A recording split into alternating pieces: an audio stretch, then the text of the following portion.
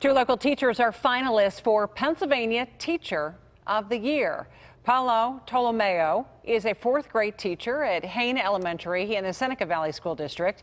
He was also a finalist last year. Also on the list, Joe Welch from North Hills Middle School. He was recently named National History Teacher of the Year. The statewide winner will be announced in December.